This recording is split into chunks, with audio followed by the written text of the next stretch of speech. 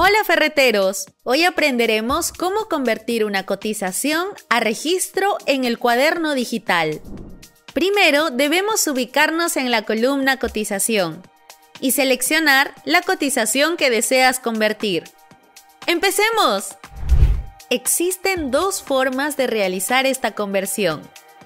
La primera es dirigirnos a la columna de acciones dar clic a los tres puntos y elegir Convertir a registro.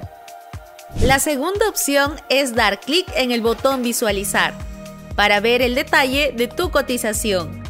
Aquí podrás observar los productos cotizados, los datos del cliente, el monto total y el menú de opciones.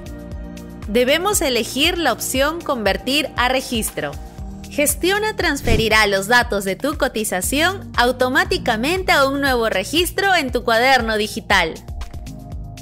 Aquí podremos editar los datos o agregar nuevos productos.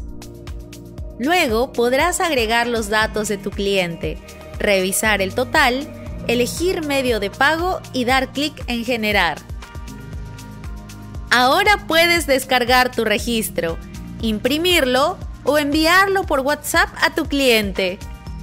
Finalmente, regresa a la sección Hoja de control para visualizar tu nuevo registro.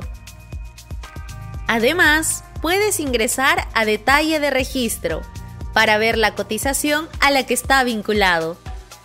Y listo, así conviertes una cotización a un registro en Gestiona, la mejor manera de gestionar tu ferretería.